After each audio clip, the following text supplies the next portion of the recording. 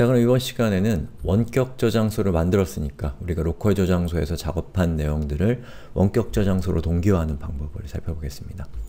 자 방법은 사실은 이미 배웠어요. 자 한번 해보죠 그래도 자 여기서 제가 li 자 동기화 보다는 push라고 답을 말씀을 드리고 그리고 저장소로 와서 commit 그 다음에 push 추가라는 로고를 작성한 다음에요. 얘를 스테이지로 올리죠. 그 다음에 commit 그러면 보시는 것처럼 push에 1이라고 적혀 있습니다. 이 얘기는 뭐냐?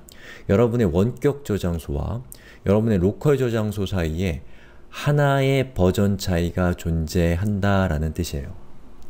자 그리고 제가 조금 욕심을 내서 이 부분도 설명을 드리면 자 여기 보시면 마스터라고 되어 있는 이 부분이 이, 이 표시가 푸시 추가 버전에 와 있죠.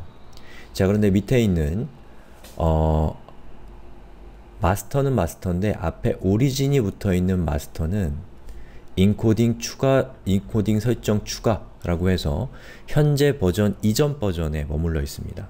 자, 그 얘기는 뭐냐? 여기 있는 origin master라고 하는 것은 원격 저장소의 최신 버전이고 origin이 붙어있지 않은 master는 로컬 저장소, 즉 여러분의 컴퓨터에 어, 설치되어 있는 여러분이 지금 보고 있는 이 저장소의 최신 버전이 바로 이 push 추가라는 것이죠. 즉 로컬과 원격 사이에 하나의 버전이 하나의 버전 차이가 나기 때문에 이렇게 push에 1이라고 숫자가 붙어 있는 겁니다. 자 그래서 여러분들이 실제 버전 관리를 사용을 할 때 지금은 commit을 하나만 했지만 어, 하나만 더 해보죠. 현장감을 느끼기 위해서 자 여기에 li push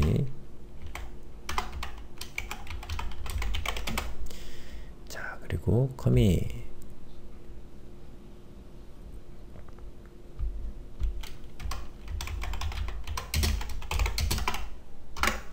자 이렇게 되면 보시는 것처럼 숫자가 2가 나오고요. 그리고 여기에서 어, 마스터가 위치하고 있는 풀과 오리진이 위치하는 인코딩 설정 추가 사이에 자, 두 개의 버전이 있는 것을 알 수가 있죠. 이걸 보면 원격 저장소에는 아직 이 두 개의 버전이 존재하지 않는다라는 사실을 여러분들이 아주 직관적으로 이해할 수 있는 기능을 제공하고 있다는 겁니다. 자 그러면 여기서 push를 누르고 그리고 OK를 하시면 선택된 브랜치들이 서버로 전송이 됩니다. 그러면 이 앞에 있는 이 부분이 어떻게 됐나요? 자 보시는 것처럼 오리진과 오리진이 없는 마스터가 같은 버전을 가리키고 있는 것을 볼 수가 있죠. 자 이번 시간은 여기까지 하겠습니다. 예, 이번 시간 빨리 이건 시간은 빨리 끝났죠? 예, 이전 시간이 좀 늦게 끝나서 선물로 빨리 끝내드리겠습니다. 자, 그 다음에 다음 시간에는 우리가 뭘 살펴볼 거냐면 자, 로컬 저장소에 있는 것을 원격 저장소로 올려서 일종의 백업의 의미를 갖게 됐는데 자, 원격 저장소에 올리는 순간에 여러분의 소스 코드는 어떤 상태가 된 거냐면 여러분 말고 다른 사람들도 접근할 수 있는 상태가 된 겁니다.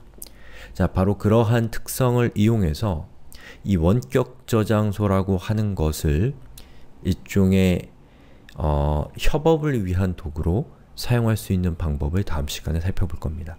즉, 여러 작업자들이 예, 하나의 소스 코드를 놓고 각자 작업해서 그것을 합치고 상대방에게 전달하고 이런 복잡한 이 상호작용을 아주 간결하게 할 수 있도록 도와주는 아주 강력한 기능을 이 kit이 제공하는데요. 바로 그 기능을 살펴보자는 겁니다. 자, 고생하셨습니다.